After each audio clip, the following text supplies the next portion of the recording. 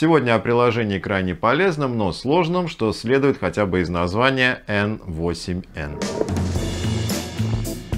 Ну, то есть оно не то чтобы сложное, я про название, но какое-то замороченное. Сразу ясно, что тут пахнет какой-то тайной, как с сыновьями чайки. Посоветовал мне его, кстати, Борис Бейлинсон из ОВД-Инфо. Ну а с вами, как всегда, Вова Ломов и Теплица социальных технологий. Речь идет о приложении N8N или N8N, так, наверное, правильнее. И служит оно для упрощения взаимодействия API различных сервисов и приложений. То есть, например, вот сервис Typeform для создания формы обратной связи. С помощью N8N данные заполненной формы каким-то образом анализируются и в одном случае отправляются в один канал Slack в виде сообщения и на какой-то email, а в другом случае в другой канал Slack и в Discord. И все это автоматически.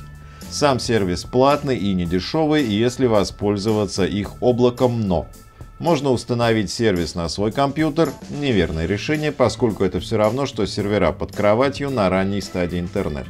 Либо можно установить N8N на собственный сервер. Это верное решение, поскольку снимает все ограничения платной версии, ну и это бесплатно. Но не так просто.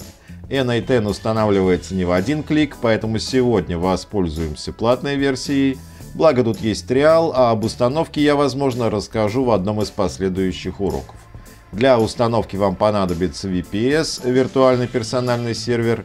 Цена начинается рублей от 400 в месяц, но если брать платный тариф от самого N8N, то это минимум 20 долларов и ограничение по количеству запусков.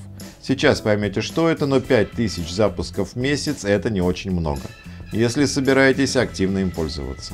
Так, запускается инстанс, запустился. Тут информация об оставшихся запусках и рабочих процессах.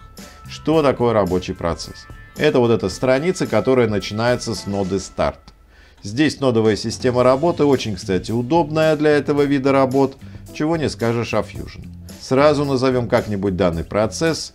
Здесь его можно сделать активным, то есть запустить. Но пока рано, поскольку ни одна нода не создана. Старт не в счет. Тут админ панель, но заходить сюда особо не нужно, разве что посмотреть, сколько израсходовано процессов. Здесь основные настройки по процессам. Сохранить, открыть, создать и так далее. Откроем созданный тест. Итак, нода старт в работе не участвует. Не знаю, зачем она нужна, удалить ее при этом нельзя.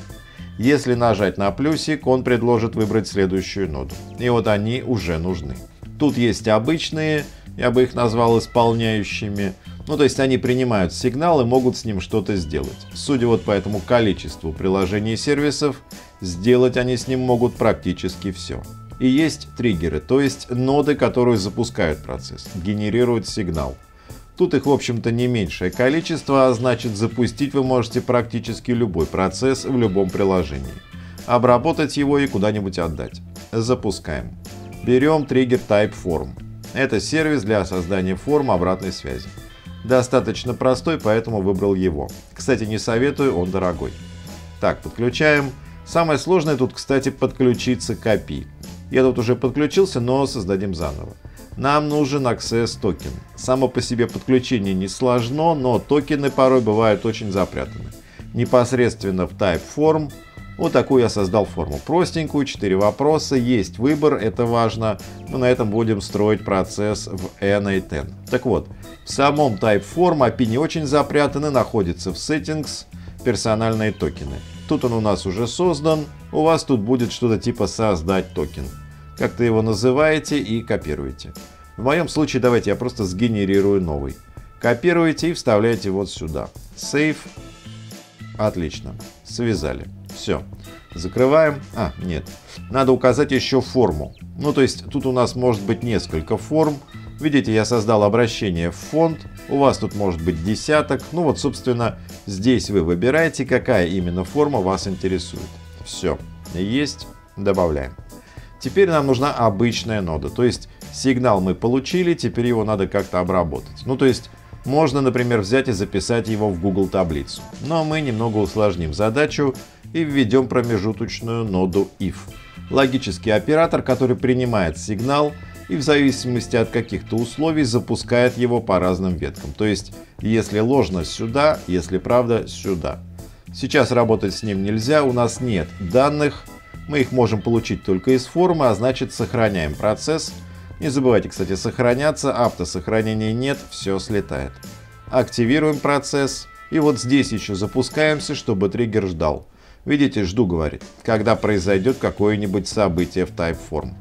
Оставим его в ожидании до следующего урока. Он получит свои данные, поверьте.